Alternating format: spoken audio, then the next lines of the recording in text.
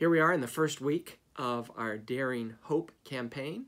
We are memorizing Hebrews 6, verse 19. How's it coming so far in the week?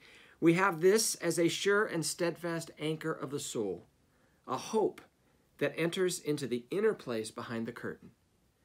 Our anchor is heavenward, not in the deepest sea, but in the highest of heaven, into the very presence of God. And Jesus went there sometimes I think it feels like he left us here. But the concept in Hebrews 6 is that he is our forerunner. He, he goes ahead of us and, and prepares and, and blazes the trail.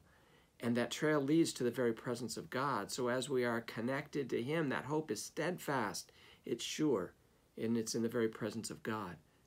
And then the text goes on in the next verse. It says, Where Jesus, who went before us, has entered on our behalf he has become a high priest forever in the order of Melchizedek.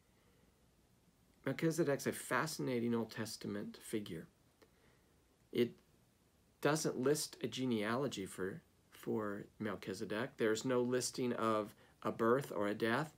And it doesn't mean that he didn't, but, but he serves as a better model type of, of our Savior because there is no written genealogy. He's apparently, as far as the Old Testament record is concerned, he's still around.